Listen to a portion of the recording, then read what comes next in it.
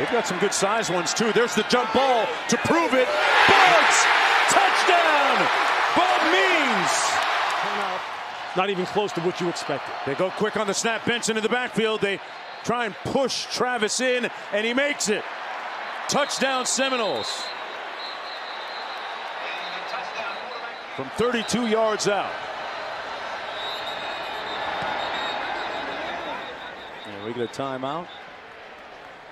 Jacobs in motion. Jacobs down the seam, makes the catch and a first down. Down to the 31 yard line. Touchdown Seminoles. Douglas on the catch. 30 yards. Benson through a gaping hole. Benson kicked in the turbo. Good night. Touchdown Seminoles.